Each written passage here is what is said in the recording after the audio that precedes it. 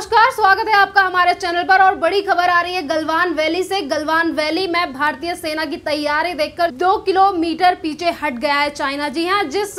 जगह पे, यानी कि पीपी पॉइंट फोर्टीन पे पंद्रह तारीख को जो हमारे और चाइना के सैनिकों के बीच में जो झड़प हुई थी, जिसमें हमारे 20 सैनिक जो वीर गति को प्राप्त हुए, उसके बाद चाइना के, चाइना को जो मुंहतोड़ जवाब मिला और जिस तरीके की तैयारियाँ भारतीय सेना की तरफ़ से चल रही हैं तो उन्हीं को देखकर अब चीन जो भी कुछ दिन पहले ईदड़ भवकियाँ दे रहा था और पीछे हटने के लिए तैयार नहीं था, पर अब वो दो किलोमीटर पीछे जा चुका है। ये पूरी तरीके से वो संदेश है जो भारतीय सेना की तरफ़ से बार बार कहा जा रहा है कि ना ही तो हम आँखों को झुकाएँगे किसी के सामने और हम आँखों में आँखें डालकर जवाब देंगे। तो ऐसा लग रहा है कि जो भी अभी जो पीएम नरेंद्र मोदी का लेह लद्दाख में दौरा हुआ था, ये उसका भी परिणाम समझा जा सकता है कि किस तरीके से पीएम नरेंद्र मोदी तीन जुलाई को लेह लद्दाख गए थे और उन्होंने सारे सैनिकों को संबोधन भी किया, संबोधन भी किया था वहाँ पर जाके। और पीएम नरेंद्र मोदी ने जिस तरीके से वहाँ पे सैनिकों को संबोधन देते हुए एक बात कही थी कि विस्तारवादी का जमाना अब जा चुका है। विस्तारवादी नीति को कोई अपनाकर पूरे विश्व में शांति कायम नहीं रख सकता। तो यहाँ पर जिस तरीके का संदेश पीएम नरेंद्र मोदी के द्वारा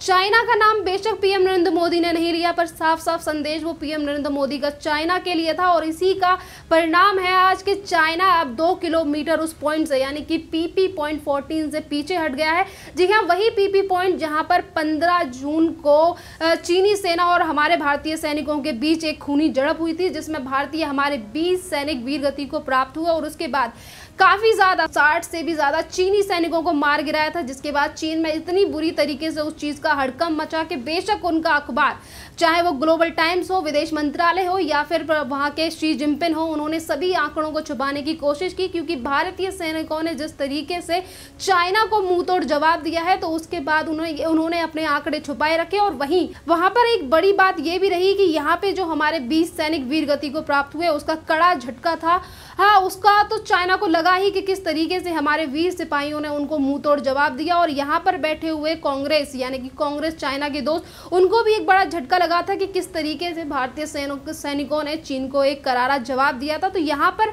इसका ये भी रूप दे, और इसका जो आज चाइना, और आज जो चीनी सेना दो किलोमीटर पीछे चली गई है, इसको एक तरीके से जीत भारत की कूटनीतिक जीत भी कहा जा सकता है, क्योंकि भारतीय सैनिकों की जिस तरीके से तैयारी है, और पीएम नरेंद्र मोदी और रक्षा मंत्री राजनाथ इस तरीके के बयान उन दोनों की तरफ़ से आ रहे हैं। चीन को अब समझ आ चुका है कि भारत से पंगा लेना इतना ज़्यादा सस्ता नहीं है, और जो उसकी विस्तारवादी की नीति है जो उसने उन्नीस सौ बासठ में पूरी तरीके से पूरी कर ली। जब नेहरू का जमाना था उन्नीस में तो चाइना को ये लगा कि वो सारी ज़मीन को हड़प लेगा और उस टाइम पे वो कामयाब भी हुआ। और इस टाइम पे जब चाइना ने इस तरीके की हरकत करने की कोशिश की है तो आप सभी को पता है कि भारतीय सेना और भारतीय सरकार की तरफ़ से किस तरीके का तगड़ा जवाब चाइना को दिया गया है। यहाँ पर चाइना पे भरोसा करना भी पूरी तरीके से लाजमी नहीं है, क्योंकि चाइना, अभी आपको बता दें कि पाँच जून को जो कोर कमांडर की बैठक हुई थी सेना के बीच, पाँच तारीख को जो कोर कमांडर की बैठक हुई थी, उसमें भी चाइना को कड़े संदेश दे दिए गए थे कि आपको यहाँ से अपनी सेना और ये जो जमावड़ा लगा रखा है, उसे हटाने की ज़रूरत है, क्योंकि भारत एक की भारत की सेना एक भी कदम पीछे हटने के लिए तैयार नहीं है।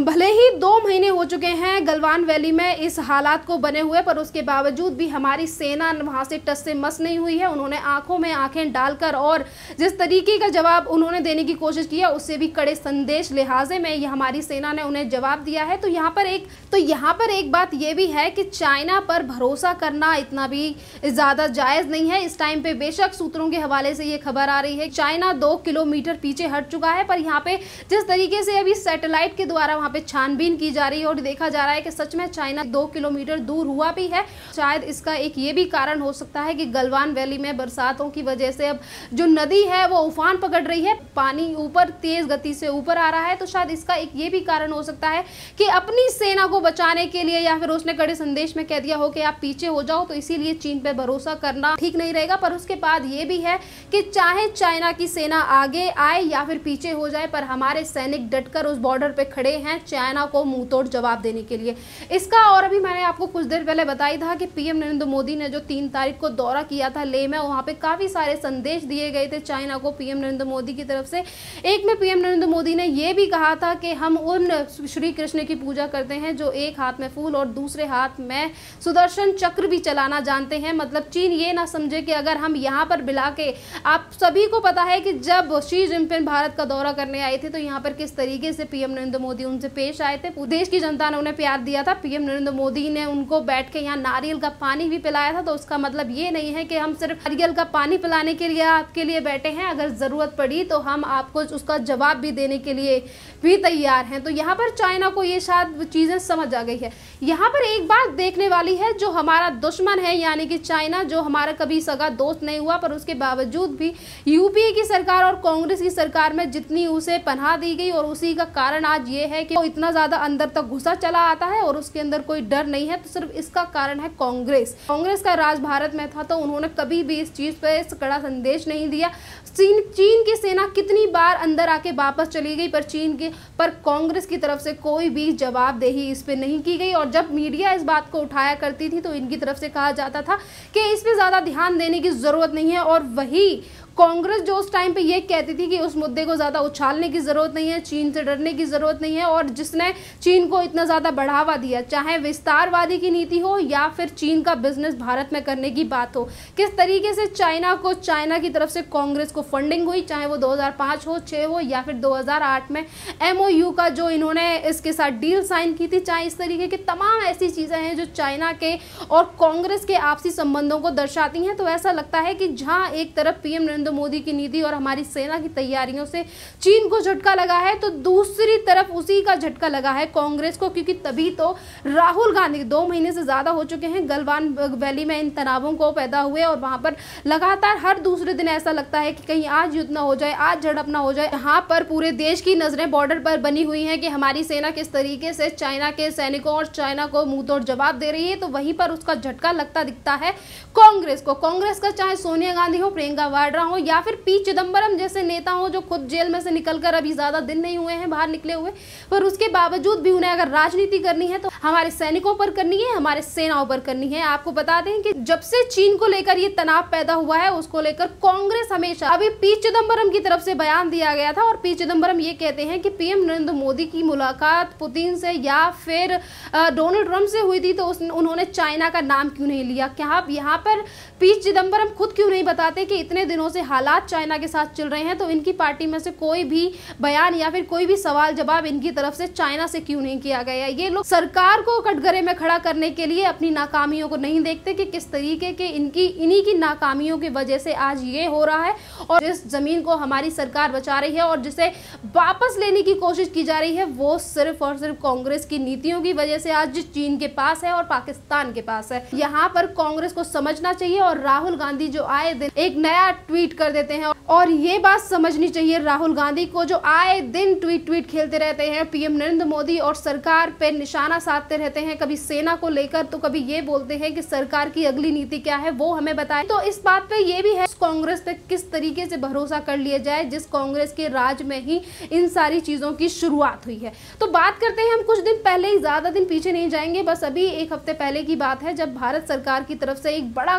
एक्शन उठाया गया कि किस तरीके से भारत सरकार ने 59 ऐप्स को बैन कर दिया था तो उससे भी कितनी ज़्यादा किरकिरी हुई कांग्रेस की तो उस पर भी इनका कोई भी बयान नहीं आता और तमाम तरीके की बातें इनकी तरफ़ से उठाई जाती हैं। चाहे वो चीनी ऐप्स को लेकर हो और या फिर भारत को आत्मनिर्भर बनाने की बात को, या फिर चाइना के सामान के बहिष्कार को लेकर कोई बात हो, पर कांग्रेस को अगर कभी भी राजनीति करनी होती है तो वो चाइना से कुछ नहीं पूछती अभी पी चिदम्बरम का बयान था, वो ये कहते हैं कि अगर चाइना के सामानों का बहिष्कार हम करते हैं तो चाइना को ज़्यादा नुकसान नहीं होगा। तो आप देख लीजिए कि ये किस तरीके से यहीं पर बैठे बैठे भारत की सेना पर सवाल करते हैं, पर चाइना से कभी भी कुछ नहीं कहते। यहाँ पे चाहे पी चिदम्बरम हो, राहुल गांधी हो, राहुल गांधी आए दिन तमाम सेना को लेकर नए बयान जारी करते हैं, कभी वीडियो बनाकर डालते हैं, कभी ट्वीट करते हैं, या फिर किसी भी, कोई भी मुख्य अखबार लेकर उसके तौर पर पीएम नरेंद्र मोदी को कटघरे पर खड़ा करने की कोशिश करते हैं। तो उसको आपको पता ही है कि भारतीय जनता पार्टी यानी कि बीजेपी के राष्ट्रीय अध्यक्ष जेपी नड्डा ने कांग्रेस यानी कि राहुल गांधी को कितना ज़्यादा करारा जवाब दिया था। उन्होंने कहा था कि राहुल गांधी के बयान पर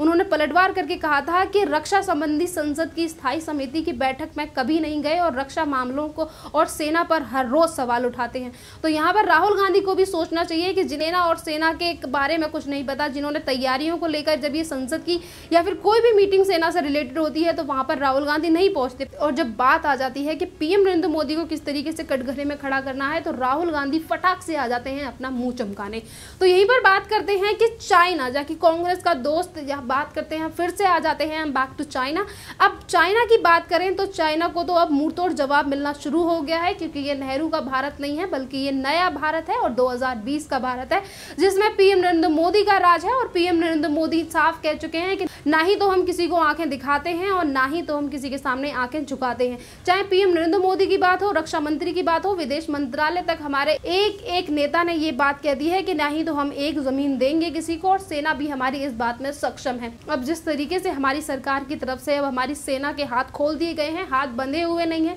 और यूपीए की सरकार नहीं है कि बॉर्डर पर कुछ भी हो जाएगा और सरकार की तरफ़ से कोई इंस्ट्रक्शन मिलेंगे, उसके बाद ही सेना कोई एक्शन लेगी। अब सेना के हाथ पूरी तरीके से खुले हुए हैं। अगर चाइना के सैनिक कुछ भी गड़बड़ करने की कोशिश करते हैं तो उन्हें ईट का जवाब पत्थर से मिलेगा। अगर वो हमारे एक सैनिक को छोड़ते हैं तो उनके एक ही, हमारा एक ही सैनिक उनके बीस सैनिकों को जवाब देने के लिए तैयार है और इसमें पूरी तरीके से हमारी सेना तैयार भी है। तो आपको यहाँ पे ये भी बता दें कि जो चाइना हर तरीके से घिरा हुआ है, चाहे कोरोना वायरस हो और इसका बहिष्कार करने के लिए भी अब भारत ने शुरुआत कर दी है। अब तमाम देश और भी शुरुआत कर रहे हैं कि अब चाइना का बहिष्कार इस तरीके से करना है कि जो चाइना नई नई नीतियाँ अपनाता रहता है, अपना बिज़नेस बढ़ाने के लिए वो बिज़नेस पूरी तरीके से चौपट होने वाला है। कहीं कोरोना वायरस फैला के अपने बिज़नेस को स्टार्ट करने की यहाँ पर जो इसकी नीति थी कि ये अपने बिज़नेस को ग्रो कर लेगा और ये अपनी अर्थव्यवस्था को सुधार लेगा तो यहाँ पर भी एक कड़ी जोट पीएम नरेंद्र मोदी ने दे ही दी है। और जो उनसठ ऐप को लेकर मैंने बात आपको बताई थी, उसमें भी छह बिलियन डॉलर का जो नुकसान चाइना को हुआ है, ये शुरुआत है चाइना को उसकी औकात बताने की कि आने वाले टाइम में चाइना भी याद रखेगा कि भारत में कितना ज़्यादा फ़र्क है। और 2020 के भारत में यही फ़र्क है कि वो भारत नहीं है जो आपको पे, प्लेट में परोस के कोई भी ज़मीन आपको दे देगा। ये वो भारत है। जो ज़मीन आपने कब्जा रखी है वो भी आपसे छीनने की क्षमता रखता है।